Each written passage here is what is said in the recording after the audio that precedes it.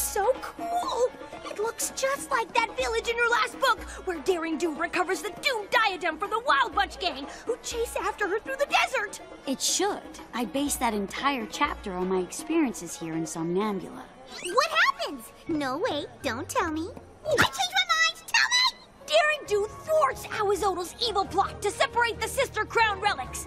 And if it wasn't for her, the region would be cursed with eternal night, and the entire town of Somnambula would have sunk into the ground. Ah. There's no chance that these ponies don't think you're a hero. Watch this. Hiya there, mister. I was hoping you could tell me about a pony named Daring Do. I hear she's an awesome adventure pony hero. Daring Do? Oh, she's awesome, all right. Awesome at destroying ponies' apple carts and priceless sacred statues. Indeed.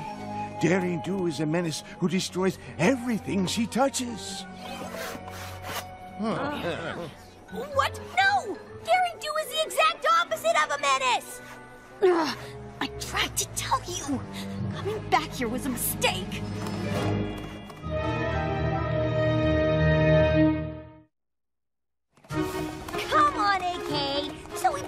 Bad example. That was just one angry pony. Two angry ponies! It doesn't matter. I never should have come with you. You two should just go home. Come on, we gotta follow her.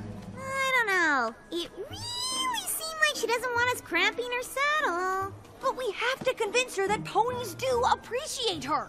As her friend, I have to make sure she believes that. Pinkie, it's the Get On In! Daring Do stays here all the time in her adventures. Which means there must be ponies here who love Daring Do. Maybe they can help us. Mmm, my nose is telling me to help myself to muffins. Come on! Ooh, she's fancy. I got this. A good evening to you, madame. We are but weary travelers who humbly wish to inquire on the status of a certain mare of intrigue taking residence here. What in southern Equestria are you on about? Is it true that Daring Do stays here? Huh, not anymore, she doesn't. Why not?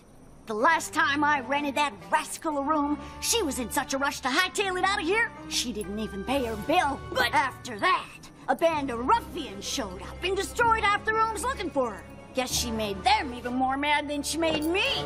No, no, no, you got it all wrong. Huh, how do you figure? Daring Do was trying to save every pony from the curse of the doomed diadem of Zilati.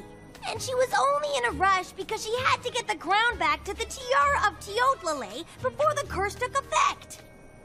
Chapter 17. Sounds like a tall tale to me, and a hard one to believe now that I know Daring Do is a scoundrel and a thief. Every year, ponies come to offer precious glow pads to the Somnambula statue in the village in hopes for a good future. Why, that poor fella had his Glowpaz necklace stolen by Daring Do just yesterday. There's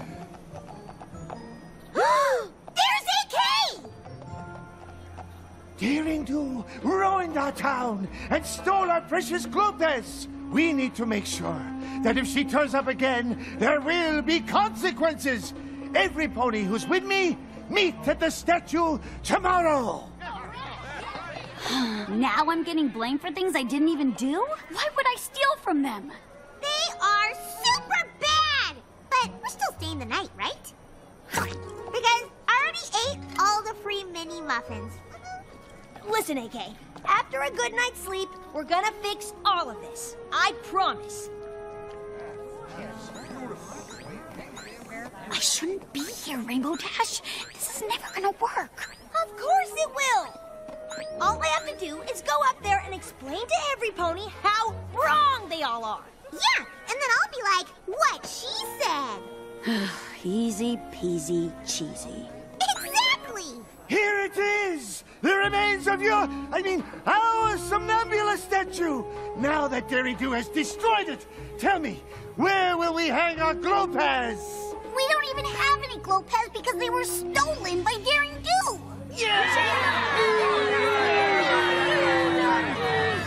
Daring Do would never steal anything! Okay, she destroyed your statue, but it was because she was trying to save you all from Ahuizotl! Oh. Ahuizotl, he's about yay big, long neck, itty bitty face, weird claw thingy on his tail. Oh, oh, I know him. He's a baddie.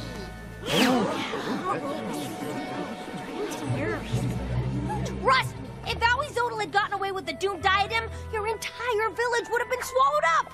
And that's a lot worse than losing some crummy old statue.